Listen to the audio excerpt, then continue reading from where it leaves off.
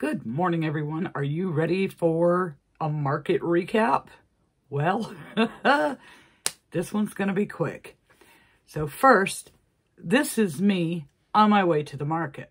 Well, good morning, everyone. Um, I got a late start this morning, and I'm holding my camera in the wrong direction, so sorry about that. But somebody out there decided to rain on my parade today. It is raining and it is supposed to rain all day. And I'm 15 minutes late leaving the house, but I am finally on the expressway and yeah, Hopefully it's not raining when I get there so that when I go to carry everything in, it doesn't get soaking wet. Oh my goodness. So today was supposed to be a test to see if I wanted to sign up for this crafters market again because they do it every two weeks and I was hoping to sign up for March 30th if today went well. Well, when I checked, March, March 30th is already sold out. It's booked, which I was kind of bummed about that. But it looks like because of this rain, if it doesn't clear up, that today might not be a good test day. So, yeah, that's not a good view to really see the rain, but you know, it is what it is. So I decided to take the other route, the expressway route, pay the toll because going east, there were a whole lot less lights. And there's a lot less traffic on the expressway versus the interstate. And this puts me five miles closer to the venue than um, what the interstate would. I'd have 26 miles of lights and traffic versus five miles taking the expressway. So it was totally, hopefully, totally worth the toll. So I am going to put this down and pay attention to my driving and I will update you again very shortly. Wasn't that interesting? Now, of course, we try not to forget anything and be prepared and have the car loaded the night before and all that good stuff. But alas, I did forget something. I forgot my tripod, so I didn't get very much market footage. But here is my setup before the market opened.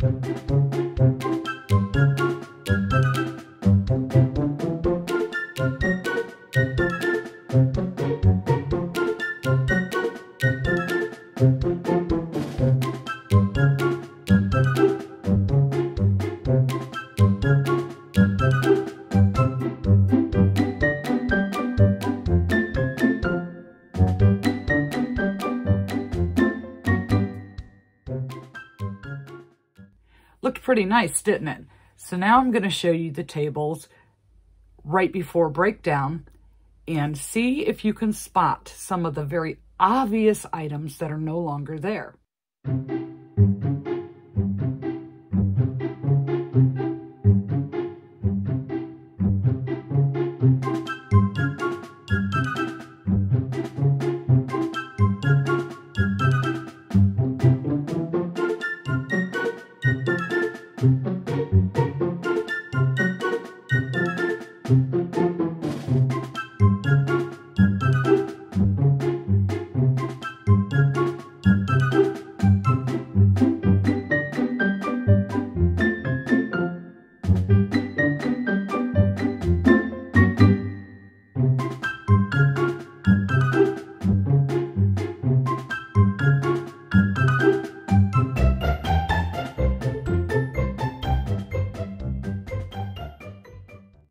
Tell which ones were missing? Well, if not, I'm going to tell you what I sold. But this is what happened yesterday. Yesterday was going to be a test to see if I wanted to sign up for more markets at this crafters market because they do it every two weeks. And I, I wanted to test the waters to see if it's something, you know, that I would continue to sign up for. It would be nice to be somewhere that you're there regularly and maybe you can pick up some regular customers or some custom orders, you know, stuff like that. So my test day was ruined. It rained all day long.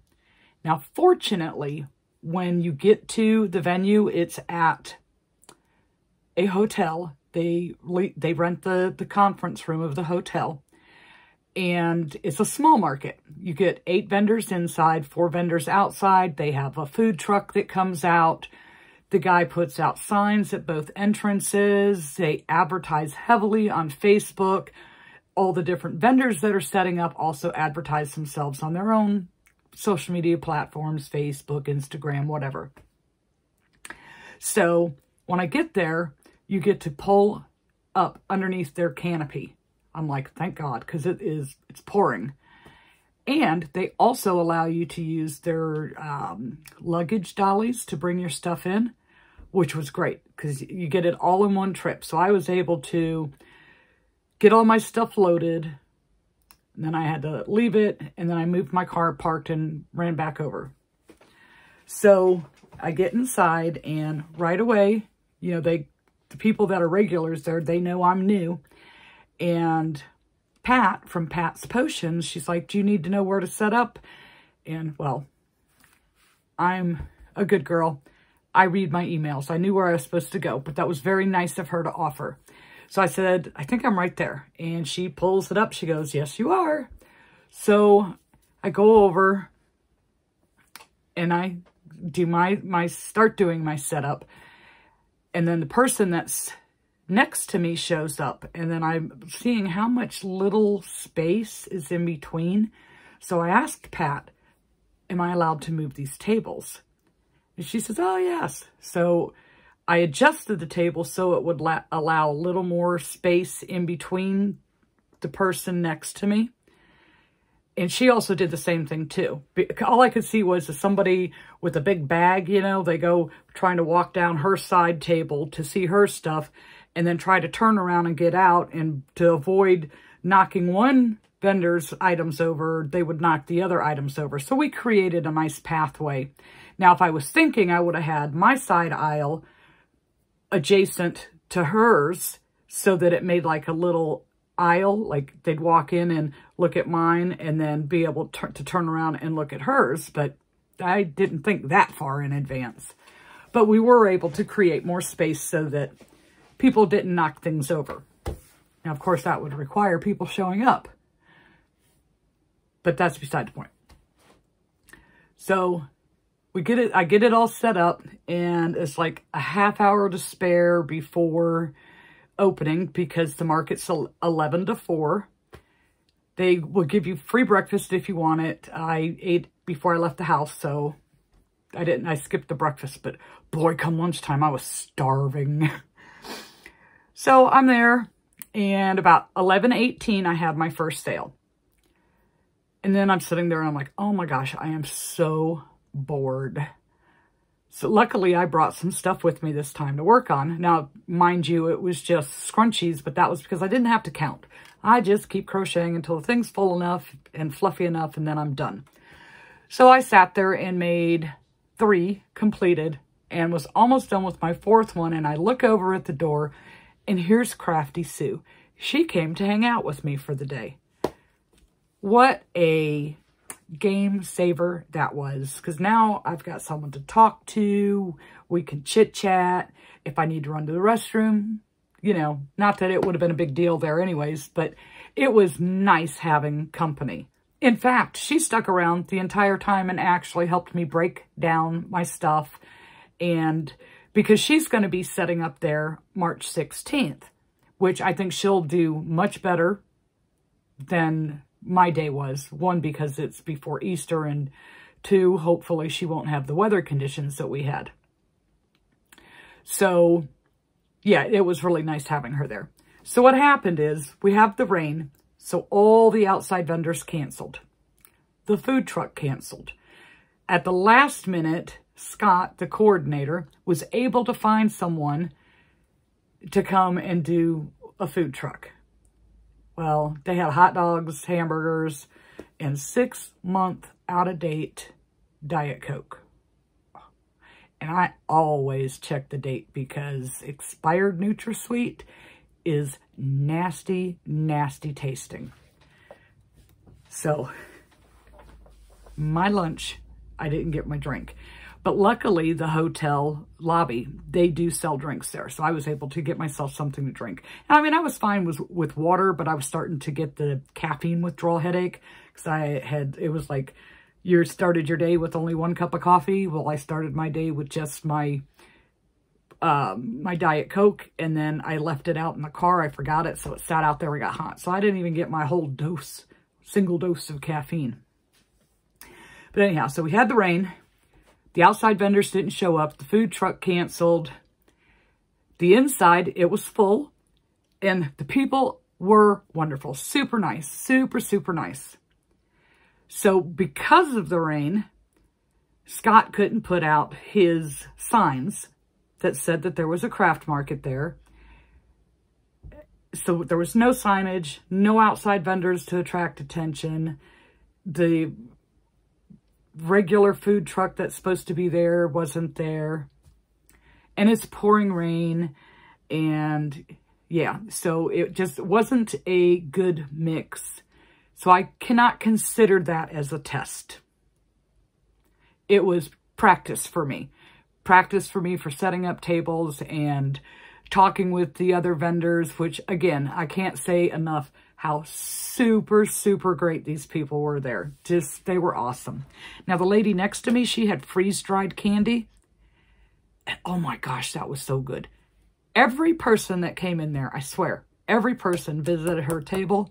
And if they visited her table, they did not walk away empty-handed.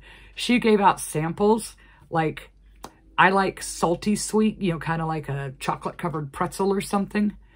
And she had this peanut brittle that they freeze dried. Oh my God, that was so freaking good. It was good. All right, so enough babbling. Let's talk about my sales. I did do some sales. I more than made my money back for my booth, which was $40. And but it certainly isn't anything to write home about. But considering all the conditions, all the things going against that market day, I think I did halfway decent. So my first sale of the day, I told you it was at 11.18 and it was one of the mallard ducks, the ducks that I really like making. Now, if I have pictures, I'll insert the pictures. If I don't, then if you really want to know what it looks like, I have shown you guys everything you can go back in previous videos to see what they are. So I sold the mallard duck. Then my next customer, I sold a pouch, one of the granny square pouches, and it was the heart pouch. the only one that I had that was different. I never did get to make any more, so I only went with the four. I told you I wanted, I would have liked to have had six, but I took the four, and we sold the heart pouch.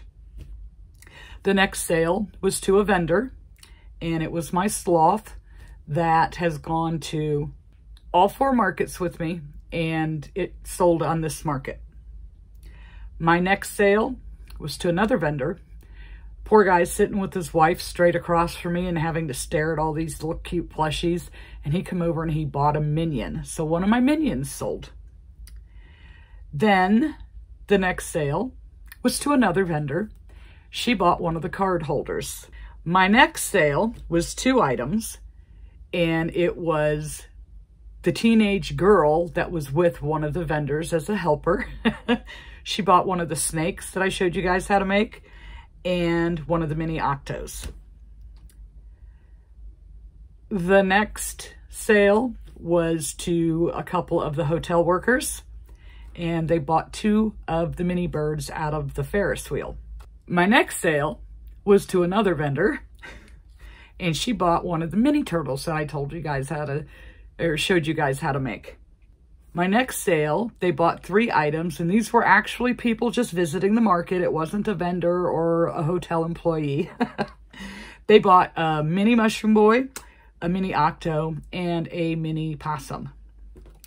And my last sale for the day was Bluey and Bingo.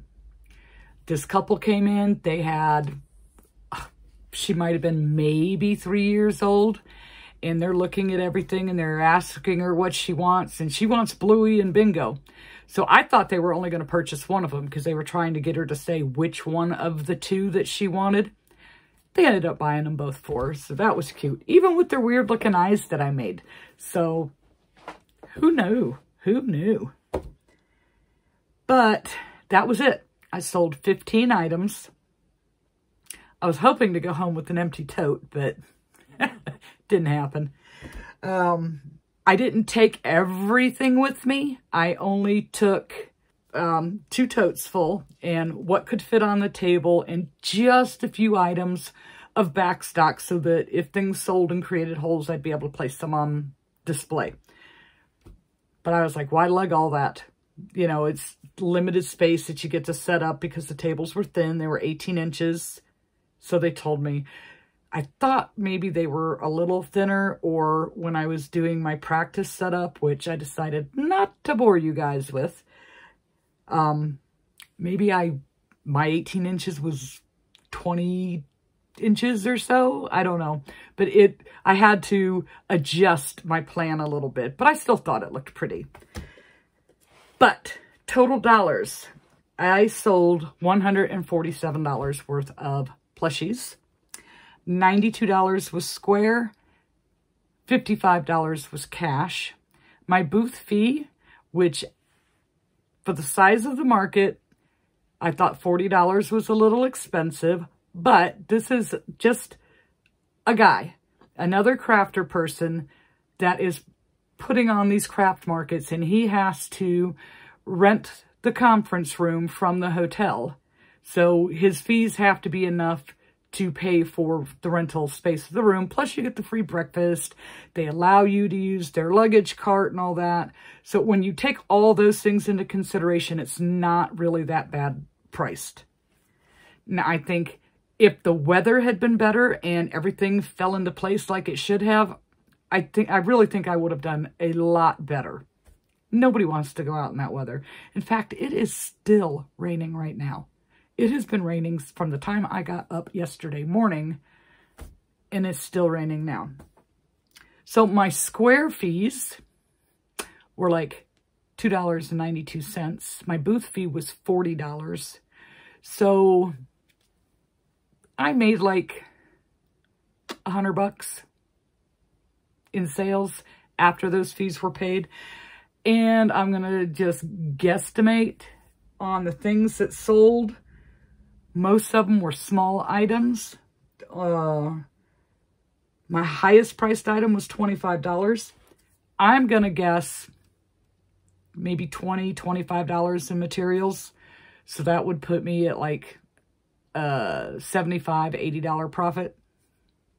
It's not really that bad.